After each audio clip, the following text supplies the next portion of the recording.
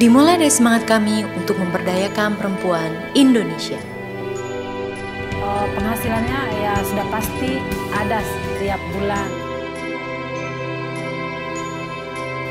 Nastar Lembang bersama Dua Anyam berkolaborasi dalam satu keyakinan bahwa perempuan Indonesia bisa berdaya.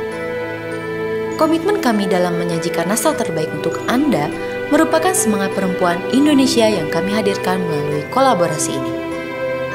Nastar Lembang bersama Duanyam bisa Anda dapatkan di Shopee atau outlet Ina Cookies terdekat.